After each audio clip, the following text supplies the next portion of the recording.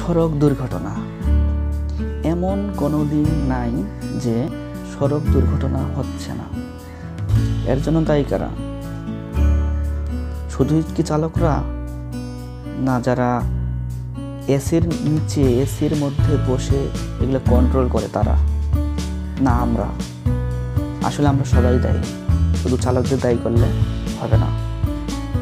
দেখেন, আমি ভালোভাবে ড্রাইভ করে যাচ্ছি।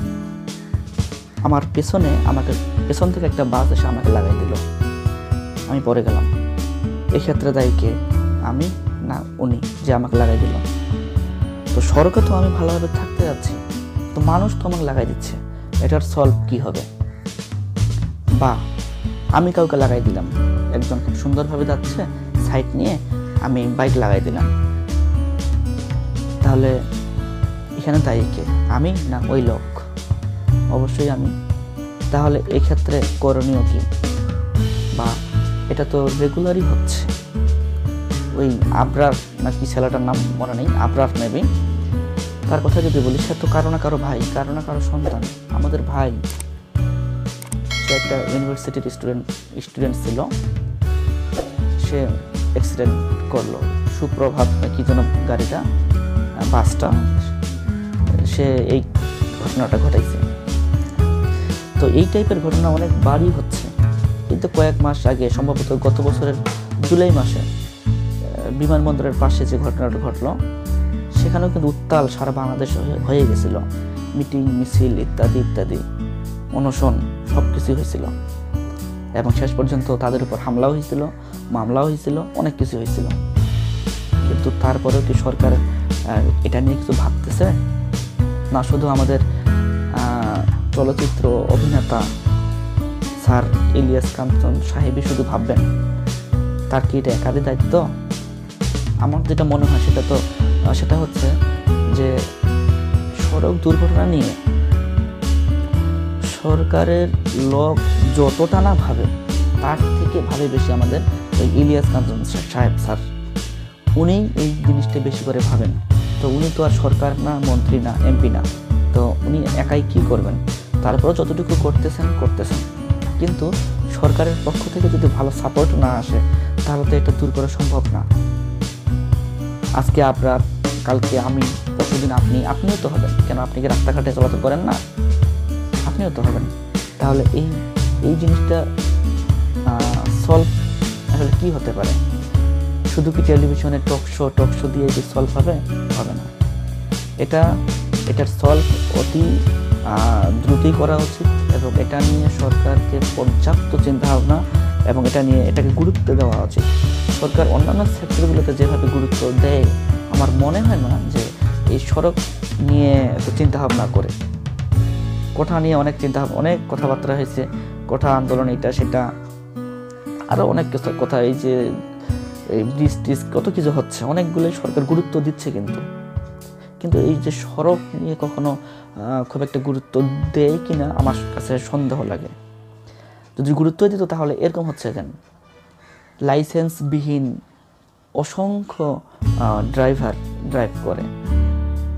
এটা তো কঠোর আইনে আনা উচিত। বা ফিটনেসবিহীন অনেকগুলো গাড়ি কিন্তু চলে। কিন্তু চলতেছে। যেভাবে চলতেছিল আগে, আট দশ বছর আগে, এখনও চলতেছে। মাঝে মাঝে শুধু একটু ট্রাফিক ট্রাফিক বসে এই। তারপরেও আবার সেখানে কয়েকশো টাকা দিলেই ছাড় পাওয়া যায়। এগুলো তো যারা আপনারা জানেন গাড়ি টাড়ি চালান, আপনারা তো জানেন ভালো করে। তো এরকম করে তো সলভ পাবে না। তারপরে আবার রাস্তা দখল ফুটপাথ দখল।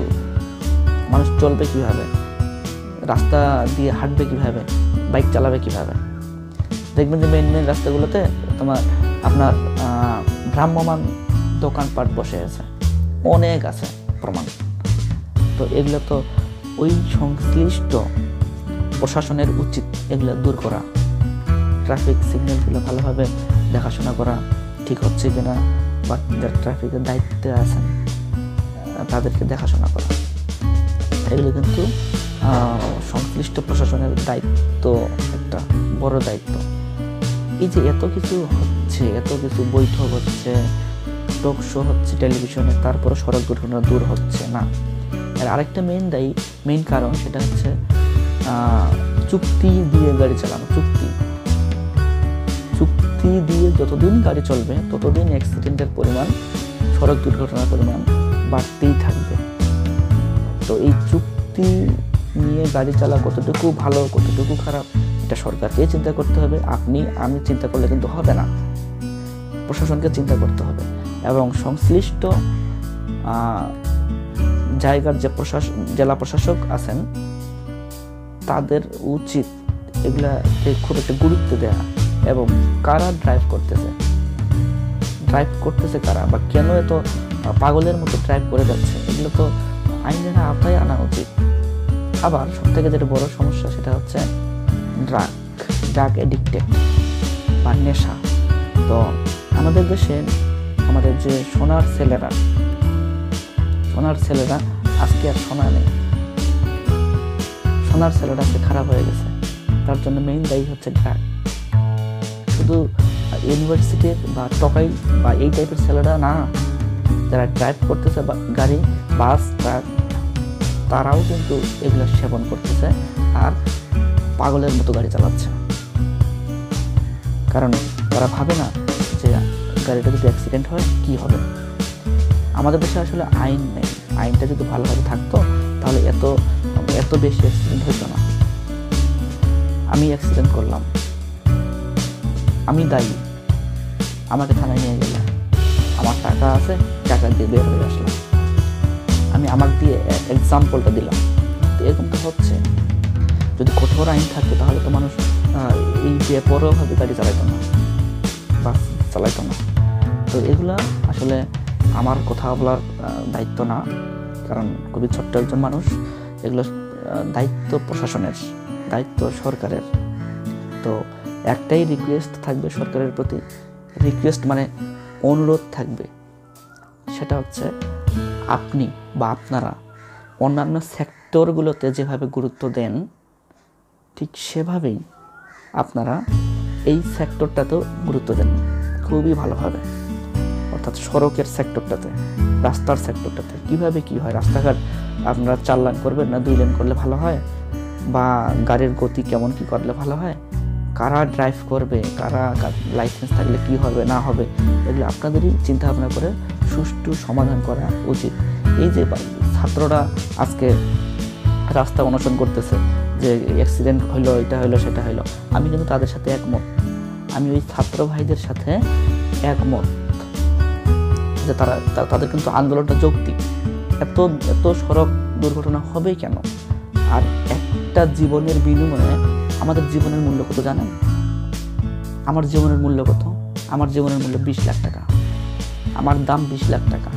তবে জীবিত অবস্থা না। জীবিত অবস্থা আমার চার পয়সা মূল্য নেই। জীবিত অবস্থায় রূপ করতে বললাম কিন্তু, জীবিত অবস্থায় আমার চার পয়সা মূল্য নেই। কিন্তু মরে গেলে আমার দাম আছে অনেক। যদি আমি অ্যাক্সিডেন্ট হয়ে মারা যাই, আমার আমার মূল্য হবে তখন বিশ লাখ। কারণ আমি যদি সড়ক দুর্ঘটনায় মারা যাই, শিক্ষার্থীরা আন্দোলন করবে বা সবাই আন্দোলন করবে, সরকার চাপে পড়ে, তখন আমাকে বিশ লাখ টাকা দিবে। এই যে বললাম না, আমার জীবনের মূল্য, আমার জীবনের মূল্য বলতে আমার মৃত দেহের মূল্য সড়ক দুর্ঘটনায় মারা যায় সেটার মূল্য বিশ লাখ। কথাটা কিন্তু রূপ করতে বললাম সিরিয়াসলি নেবেন না এটাই দেখতেছি, তাই বললাম।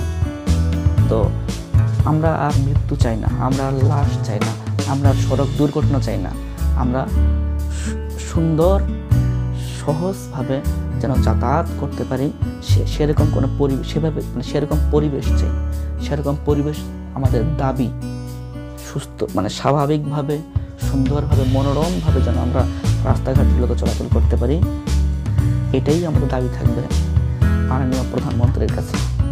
আশা করি উনি গুরুত্ব সহকারে এটা দেখবেন এবং নির্দেশ দেবেন। আমরাও চাই সড়ক দুর্ঘটনা অনেকটা কমে আসুক তো শুধু অনেকটা না, একেবারে শূন্যের কোঠায় নেমে আসুক। আমরা এটাই চাই, আর নয় প্রাণ। তো ভালো থাকবেন, যদি কোনো ভুল ভ্রান্তি বলে থাকি আমার ক্ষমা করে দিবেন।